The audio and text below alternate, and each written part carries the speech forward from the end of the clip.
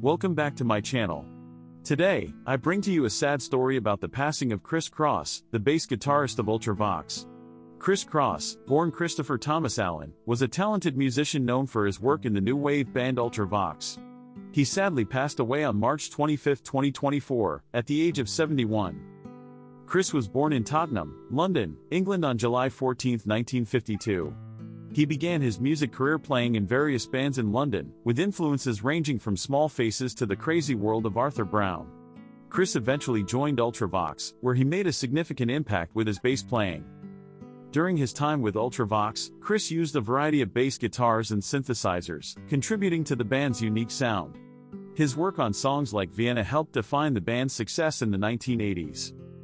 After Ultravox went inactive in 1987, the band reunited in 2008, releasing a new album in 2012. Chris was a vital part of the band's success and was loved by his bandmates and fans alike. Chris will be remembered for his talent, passion for music, and his contributions to the music industry. He will be deeply missed by all who knew him. Thank you for watching this tribute to Chris Cross. Please subscribe, comment, like, share, and follow for more content. If you'd like to support my channel, you can send a donation to Cash App colon dollar director 327. Your support is greatly appreciated.